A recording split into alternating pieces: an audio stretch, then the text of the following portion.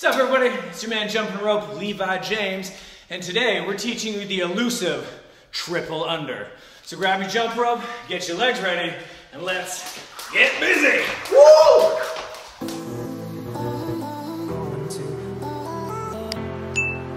All right, so to get started, you're gonna perform three double unders, and on the fourth one, you're gonna push a little bit harder, both with your feet and with your thumbs, to get the rope underneath you three times.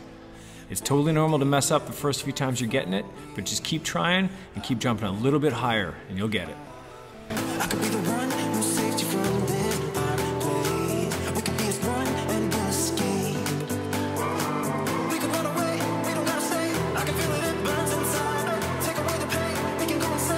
In order to get your triple under, you must be able to perform at least four double unders. Click the link to the side here to learn how to do double unders. Get them perfected, and then you can come back to this lesson and try your triples.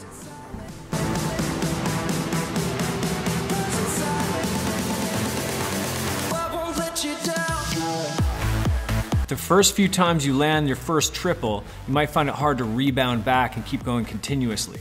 So it's okay to stop, just make sure you go back to your doubles, ramp it up, hit that triple, and then sooner or later you'll be able to get them sequential.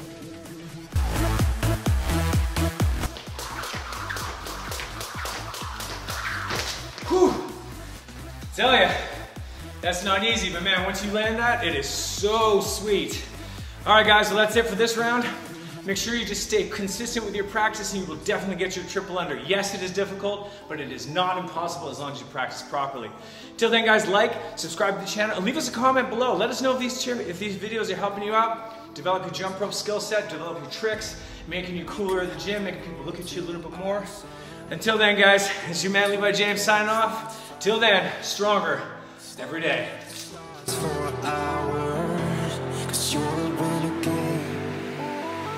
I could be the one who'll say